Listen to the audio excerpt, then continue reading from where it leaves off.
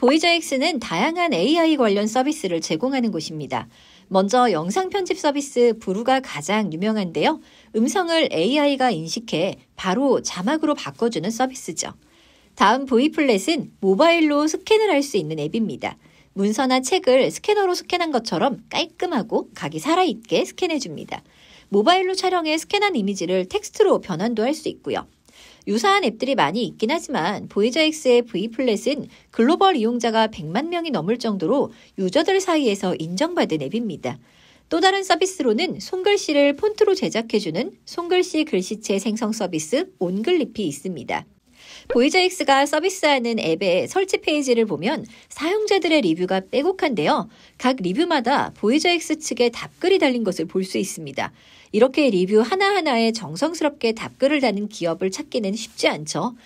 그만큼 사용자 경험을 중요하게 생각하는 기업이라는 걸 알 수 있어요.